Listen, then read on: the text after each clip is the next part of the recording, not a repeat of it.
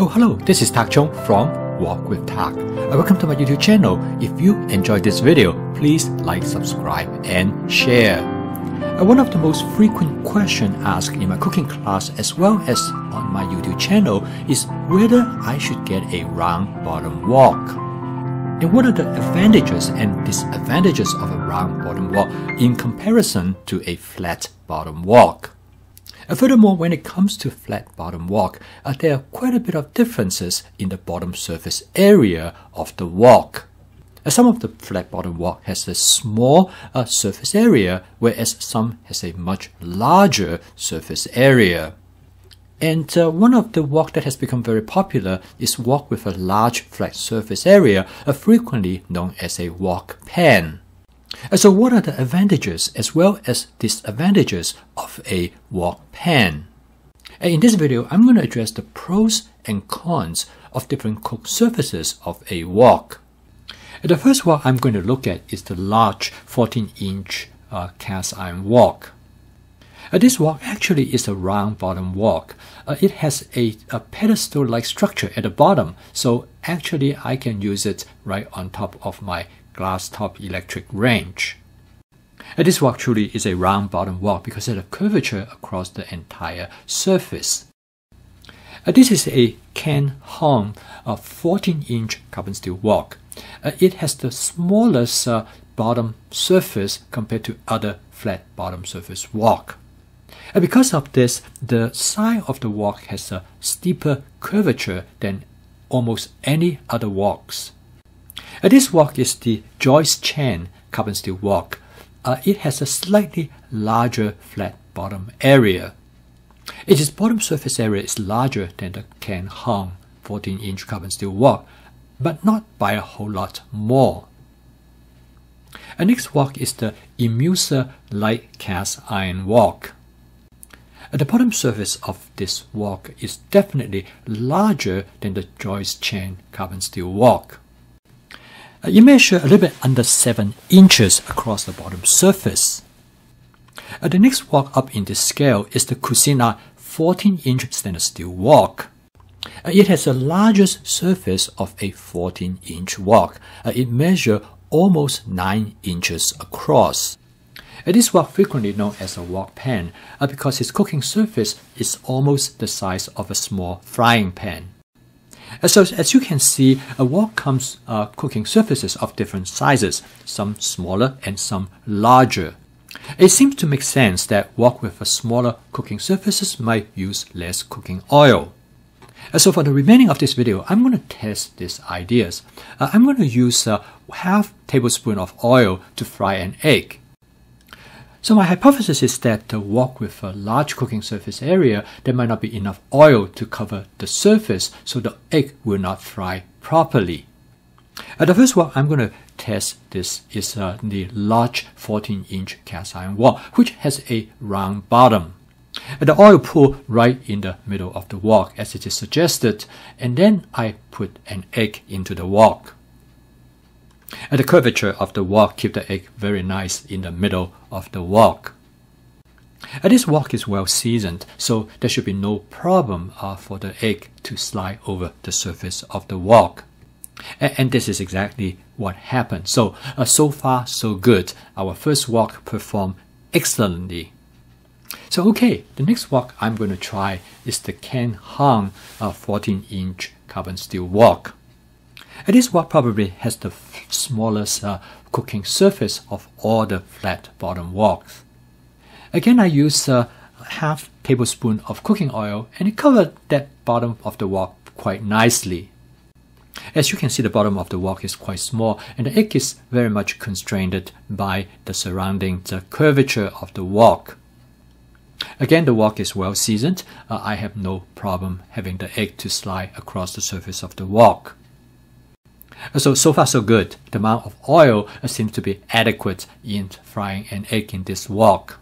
The next wok I'm going to test is the Joyce Chen 14 inch carbon steel wok. The problem about this wok is that when you heat it up, it starts to spin.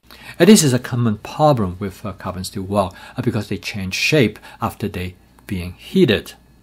Anyway, I'm going to go ahead and test this wok.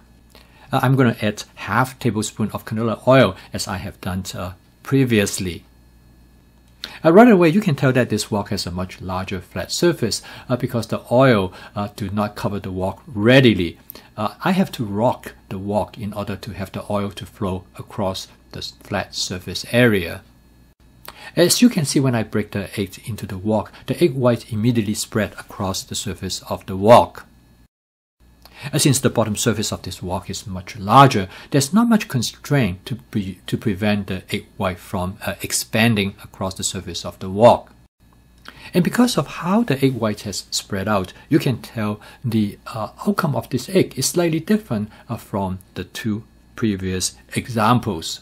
Again, we don't have much problem of the egg stick to the surface of the wok. Okay, so far so good. Uh, next is the Imusa 14 inch light cast iron wok. Uh, it has a larger cook surface area. As I mentioned earlier, it measures about 7 inches across. Uh, you can clearly tell here that the cooking oil is definitely uh, not sufficient to spread at least uh, automatically across the surface of the wok. So I have to tilt the wok to make sure uh, all areas of the bottom surface uh, is covered with cooking oil. And nevertheless, um, half tablespoon of cooking oil seems to be able to do the job. As in the previous case, when I dropped the egg into the wok, the egg yolks spread readily across the surface of the wok. Uh, in fact, this area is big enough uh, for frying two eggs at the same time. However, there seems to be enough oil uh, because the egg do not stick to the bottom of the wok and able to glide freely on its surface. So okay, last but not the least is the Cuisinart 14-inch stainless steel wok. This wok has the largest cook surface area and it measures about 9 inches across. Uh, it is about the size of a standard frying pan. And in fact, the company advertised this as a stir-fry pan. So as you can tell, uh, half tablespoon of cooking oil definitely uh, has a hard time covering the entire surface of the wok. So uh, I have to rock the uh, wok in such a way so that the oil will flow across the entire surface of the wok. And nevertheless, it seemed to be enough to cover the whole bottom surface. So when I crack the egg into the wok, uh, you can see the egg just flow all over the place. In fact, the only thing constrained from the from expanding is when it comes to the edge of the slope.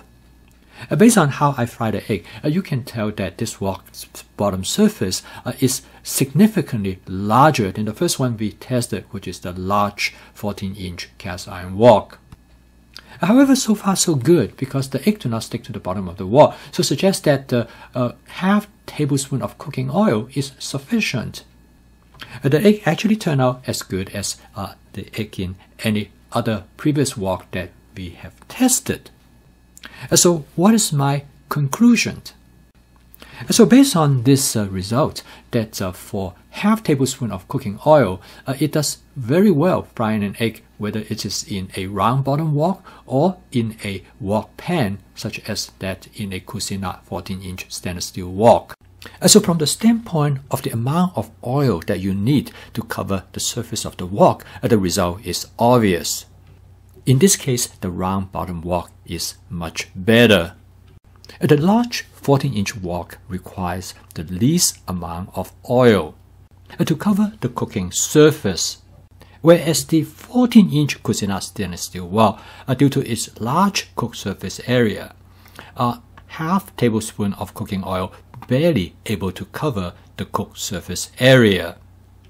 If you want to minimize the amount of oil that you would use in your cooking, uh, then the round bottom wok is definitely a better choice. Uh, however, a flat bottom wok with a large cook surface is more versatile. Uh, it will allow you to do shallow frying. Because it can perform like a small frying pan, making an omelette is not a problem at all. And you can also use it to make a grilled cheese sandwich. In fact, two of them. If you are hungry for French toast, it will perform this cooking duty admirably. And if you are hungry for hamburger, a this wok can also perform that cooking duty. So if you want a wok that will use the least amount of cooking oil, then the large 14-inch cast iron wok is probably the best choice. However, if you want to wok with the greatest possibility in performing different cooking functions, then the Cuisinart 14-inch stainless steel wok is a much better wok. Uh, personally, I prefer the 14-inch Cuisinart stainless steel wok uh, because of its flexibility in carrying out different cooking functions. I post a video every day uh, to introduce my fast cooking system.